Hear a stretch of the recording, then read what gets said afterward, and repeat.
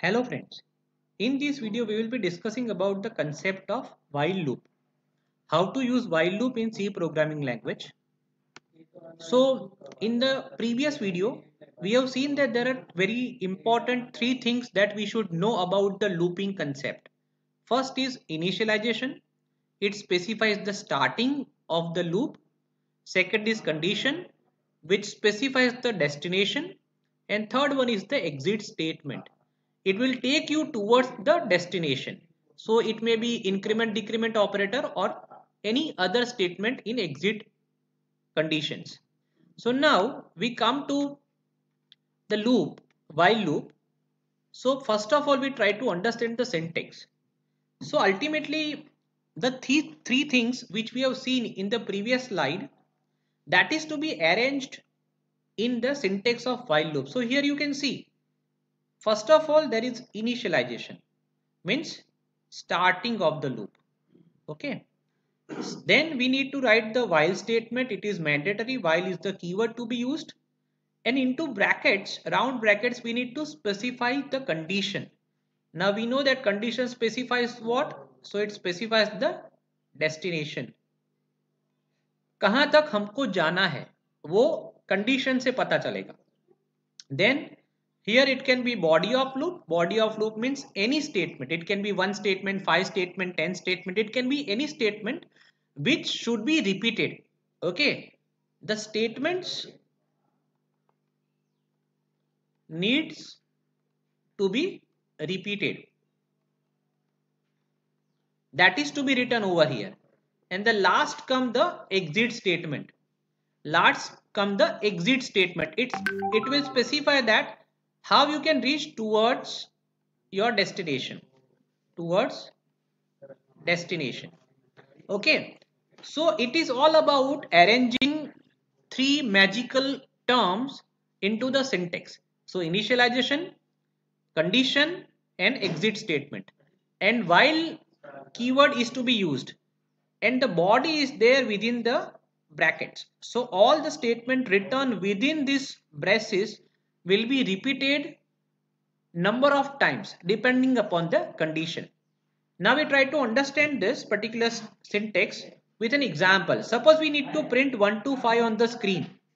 So we know that initialization is what? We need to initialize i equals to 1 because what we need to do we need to print 1 to 5 on the screen so starting is from 1 and ending it as 5 so initial is i equals to 1 now condition is what it specifies the destination means आपको कहाँ रुकना है तो here we have the here we have, here we written the condition okay the value of i we will be repeating the loop we will be repeating the loop until and unless the value of i is smaller or equals to 5 it means जब तक आई की value पाँच से कम है या तो पाँच है, तब तक हमको रिपीट करना है।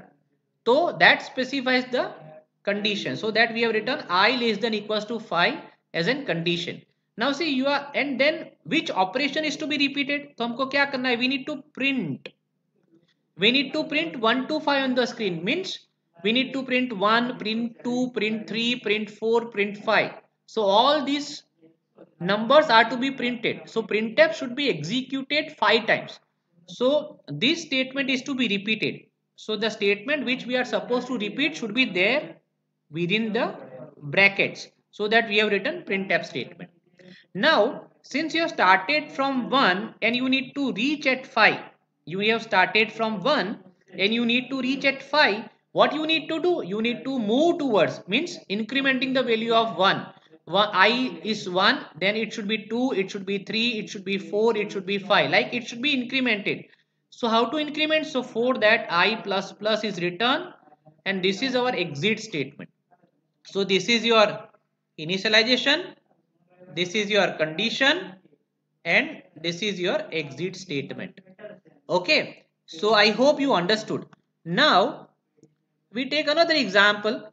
So it will be more clear to you so now here you can see suppose we need to print 10 to 5 on the screen so now just think upon it 10 to 5 so 10 9 8 7 6 and 5 so again initialization means starting तो start कहाँ से करना है 10 से so we have written i equals to 10 कहाँ तक जाना है we need to move up to 5 5 तक जाना है तो फॉर दैट कंडीशन क्या लिखा हमने i greater than equal to five जब तक i की वैल्यू 5 और 5 से ज़्यादा है until and unless 5 is the value of i is less than 5 okay so we have written that now what we are supposed which operation we are supposed to repeat we are supposed to repeat the print operation so we have written printf okay and then we have started from 1 10 and we need to reach up to five means value क्या होनी चाहिए? Increment और decrement तो decrement होनी चाहिए। तो ten से लेके फाइव होनी चाहिए। इसलिए what we have done we have decremented the value of i so now once it is ten then i will be decremented so now it will be nine then it will be eight and up to five okay so this is how we can able to reach up to five so this is the example in which we are printing from 10 to 5. Now, one question is there. Can we omit or can we skip any such part? Suppose मैंने ये नहीं लिखा. Suppose I have not written, I have not initialized. Okay, so then what will happen? Then there will be the issue. Why? Because if I have not written i equals to 10, then what is the value of i? What is the value of i? It is not clear. So any junk value can be there. Okay. So this condition will not be performed as per our understanding. It can perform randomly. So we cannot skip initialization. Now can we skip i greater than equals to 5? Suppose can we skip this particular part condition? Suppose मैंने condition नहीं लिखा. Then what will happen? Condition नहीं लिखा तो what will happen? It will execute for n number of times. It will not terminate. वो कभी terminate ही नहीं होगा. Okay. And if I skip this particular decrement then what, will happen? Then the value of i will be always 10 it will be always 10 so it, if it is always 10 then it will uh, this condition is always true. So again in this particular case it is infinite loop. So now we try to execute this one by one. So right now i equals to what? 10 now you check out 10 i equals to 10 okay? Now 10 greater than equals to 5 condition is true. So you are moving inside. So what is printed? So suppose this is my screen. Then what is printed? I is printed. So i is 10 10 will be printed on the screen. Then i is decremented. Now i is decremented. So now i will be what? 9 now since bracket complete so here from this statement your control jumps here. So now again condition will be checked. 9 greater than equals to 5 condition true so we move inside. I will be printed. So what is the value of I? I is right now 9. So 9 will be printed. Now I is decremented. So now new value of I is what? 8. Then again we will move up. 8 greater than equals to 5 condition true. I will be printed. So what will be the value of I? I is 8. Then I will be decremented. So now I is 7. Again we move further. Now 7 greater than equals to 5 condition true. Then i will be printed. What is the value of i? i is 7. So 7 will be printed. Then i will be decremented. So now i will be what? 6.